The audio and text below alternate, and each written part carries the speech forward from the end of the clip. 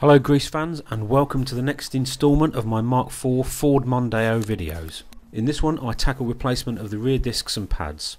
Having jacked up the car, placed it on axle stands and removed the wheels, the first job is to disconnect the brake cable. All you need to do is wind back the spring loaded lever with a pair of grips and unhook the cable. The cable can then be removed from its mounting points.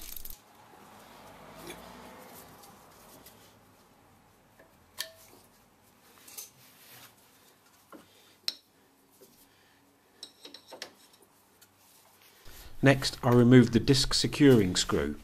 Having removed the handbrake cable I got someone to sit in the car and press the brake pedal whilst I did this. You could of course apply the handbrake to remove the screw first and then disconnect the handbrake cable. Next I loosened the caliper mounting bracket bolts. There are two bolts holding the caliper mounting bracket in place. Here you can see a close-up of the position of the upper bolt. The bolts were very tight so I had to use a breaker bar to loosen them.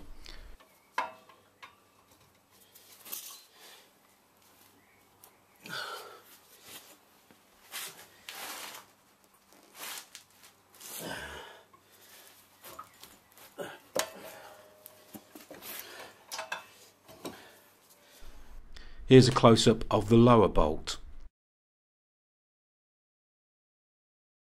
I think in hindsight it would probably have been easier to remove the caliper first before loosening the bracket, but both ways will work.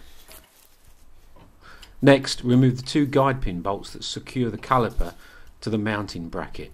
You'll need to hold the pin steady with a spanner while removing the bolt, otherwise it will turn and could damage the rubber boot covering the pin.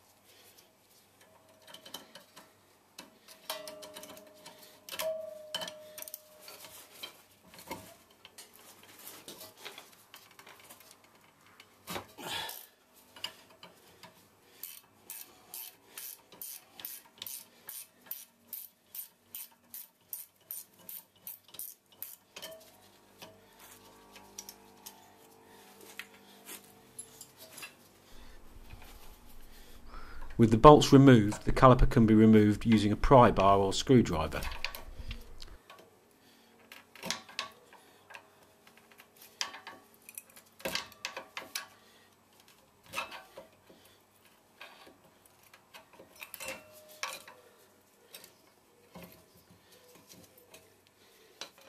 Place the caliper out of the way and remove the caliper mounting bracket.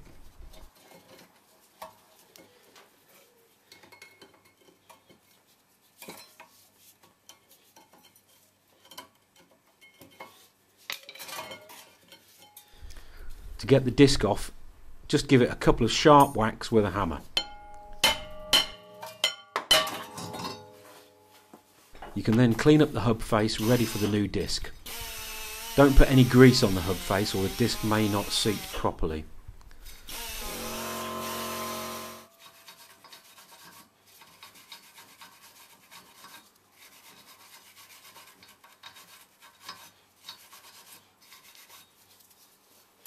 Don't forget the new discs will have a light oil covering to protect them from corrosion during storage, so give them a clean with brake cleaner or some other form of solvent before fitting them.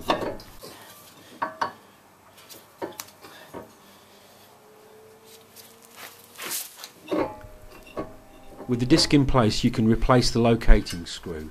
It doesn't have to be really tight, it's just designed to hold the disc in place during assembly and can't go anywhere when the wheel is back on. Some people don't even bother refitting the screws at all.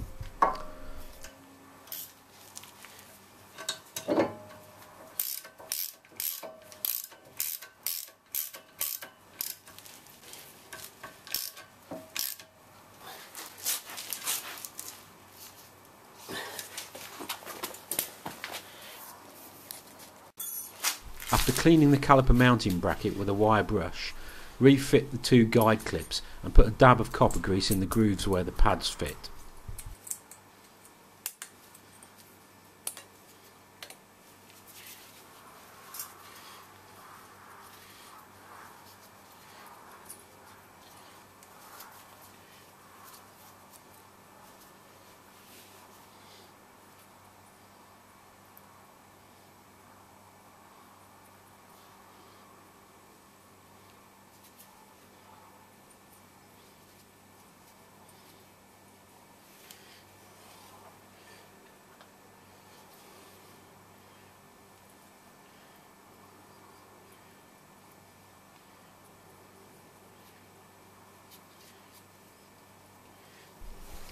Then refit the caliper mounting bracket to the hub carrier.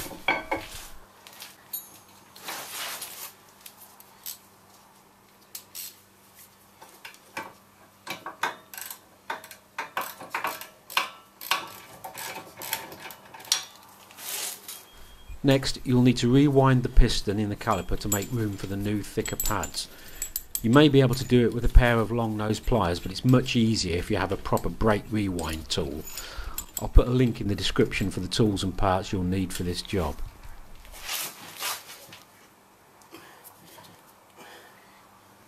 Next put a bit of copper grease on the tabs of the new pads, taking care not to get any on the friction surface of the pads.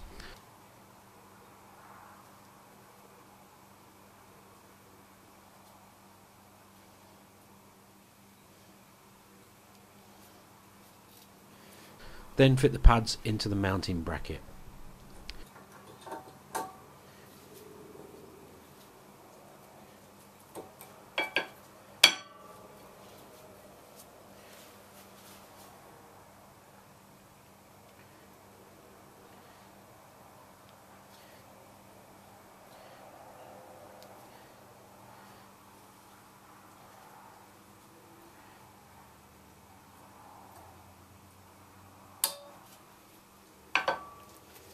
Replace the caliper and the guide pin bolts.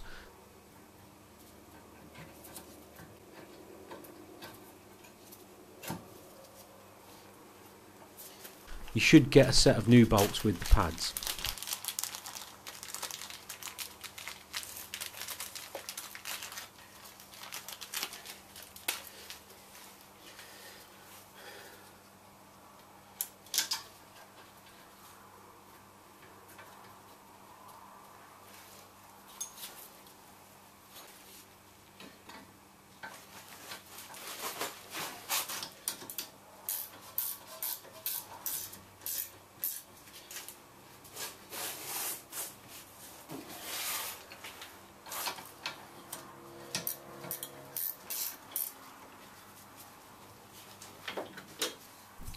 Finally, refit the handbrake cable and give the discs a bit of a clean.